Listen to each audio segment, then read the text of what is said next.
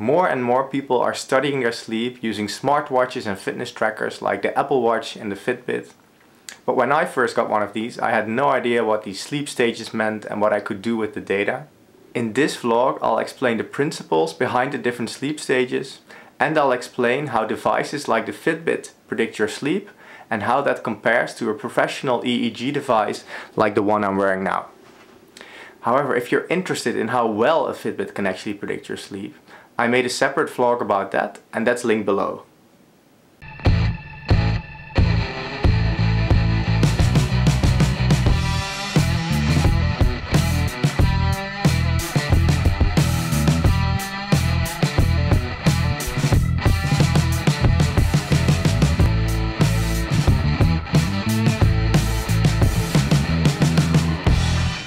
In its simplest form, there are three stages of sleep. The most famous of these stages might be REM sleep or rapid eye movement sleep.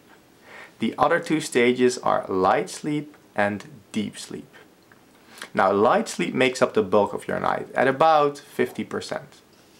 Deep sleep makes up another 20% of your night, REM sleep another 20% and the remainder of your night you can spend awake.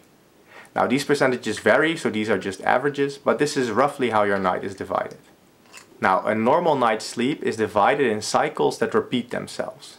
Each cycle starts with some combination of light sleep and deep sleep and ends with REM sleep. And then the next cycle starts, starting with light and deep sleep and ending with REM sleep. Now let me try to visually explain. Here I've drawn out a night of 8 hours and divided it into two equal parts. Now we're gonna draw out a typical night's sleep. As you start your night, you'll probably be awake. Then first you'll have some light sleep, followed by a period of deep sleep. And as we said, all sleep cycles end with REM sleep.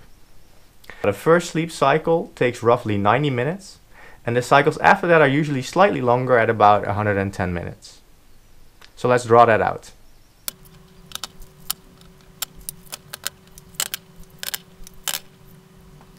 So now we've drawn out a full night of sleep and we can clearly see the four distinct sleep cycles that all end in REM sleep. Here's the first one, the second one, the third one and the fourth one. In the first half of the night, the sleep cycles have most of your deep sleep, interspersed with light sleep and ending in relatively short REM periods. In the second half of the night, the sleep cycles contain almost no more deep sleep and the REM periods increase in length. We're still not exactly sure what each of the sleep stages are for, but we have some ideas. Deep sleep, for instance, is the most restorative form of sleep. During deep sleep, growth hormones are released to help restore your body, and your immune system restores itself. It can also be difficult to wake somebody up during deep sleep, and sleepwalking and sleep talking occur during deep sleep. During REM sleep, you experience your most vivid dreams, and as a protective measure, your body often paralyzes itself.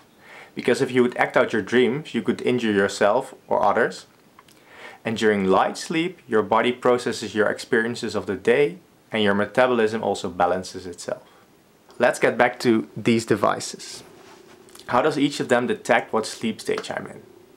Let's start off with the EEG device or electroencephalography device. This particular EEG device uses 14 electrodes all across my face and my head to detect the electrical activity in my brain. Each sleep stage is accompanied by very specific brainwave patterns and that's how it can detect the different sleep stages. Now I'm not going to go into any detail about these brainwave patterns, I'll make a future video about that, but I want to give you a quick visual impression of what they look like. So here's the different brainwave patterns. So the most extreme difference you can see here is between being awake and being in deep sleep. When you're awake and relaxed you mainly produce these things called alpha waves which are very high in frequency but not so intense Whereas during deep sleep you have these very slow, high intensity waves. In addition to brain activity, the EEG monitor can also pick up on muscle movement. For instance, this electrode near my eye helps it pick up on rapid eye movement and it can also detect heart rate. The Fitbit on the other hand doesn't measure brain activity at all, but it uses different data, as they show on their website. So here we have part of the help section of the Fitbit website. And indeed, they mention that the gold standard for measuring sleep stages is electroencephalography, or EEG. Of course, the Fitbit has to use different data, and specifically, they say they use movement and heart rate patterns both to detect that you're asleep and also to see which sleep state you're in. And specifically, they say they use the beat to beat changes in your heart rate, which is known as heart rate variability, to discern between the different sleep stages. And they also use your movement. Now, the Fitbit algorithm is proprietary, so we don't know how it works. But we can say a few things. We know, for instance, that in deep sleep you move less than in light sleep and your heart rate is lower. When you move to REM sleep, you move even less because of this muscular paralysis that prevents you from acting out your dreams. But of course the Fitbit does far fewer measurements than the EEG device does. And it's also much farther away from the thing that actually regulates your sleep, your brain. That leaves the question, what can you actually do with all this data that the Fitbit collects? Even if it predicted your sleep 100% correctly, for most people it would hold no value if they couldn't use it to somehow improve their lives. There's probably a ton of ways in which you can use the sleep data that the Fitbit provides, but I think there's one piece of information that's most valuable and most easy to use for most of us, and I just want to give you my take on that. We're living in a pretty fast-paced world and a lot of people, myself included, are usually not getting the sleep we're supposed to. And the main reason is that we're just simply not spending enough time in bed. And a Fitbit is a real easy way of keeping yourself accountable. It's really good at tracking when you go to sleep and when you get up and you can see in the app that you just didn't get enough sleep. So if you just want to keep yourself accountable, a Fitbit might be an option. I do think there is additional valuable information in a more detailed sleep analysis that gives you each of those individual sleep stages, but they can be a bit tricky to interpret.